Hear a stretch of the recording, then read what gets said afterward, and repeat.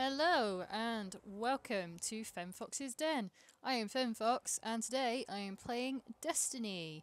Today is uh, the raid night for my team, or well, my team, our team. Uh, Phobos Remnant. And I'm just waiting for the other guys to turn up. Right now I'm just doing some spirit... spirit ugh.